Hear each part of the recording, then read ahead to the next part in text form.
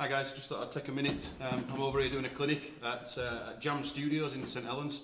Just an amazing facility. So if you if you can get yourself down here, this this the, the guys have done an amazing job.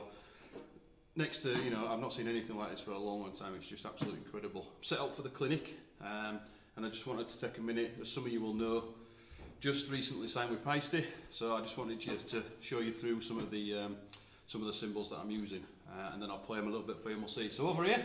I've got a, a set of uh, signature medium hi-hats, um, which I just love. The, I fell in love with those straight away. They're just utterly incredible cymbals, so I'm really happy with those. Moving up, I've got a, an 18-inch signature dark energy crash Mark 1, which again, really kind of dark. It's not got so much crash, it's got the sort of mellow tone that comes through, which is, which is fantastic. Uh, down here to an effects cymbal, which is the 18-inch uh, thin Swiss crash, uh, which really gives that kind of trashy sound. Um, but again, just, you know, brilliant, brilliant cymbal.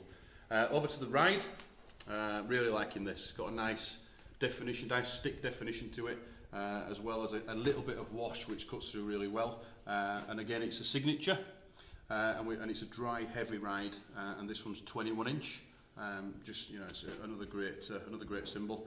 And then finally over to this side, we've got the, uh, the 20 custom 16 inch full crash which I think working with the dark energy over here and then the 16 here just adds you know a really nice tone to the kit.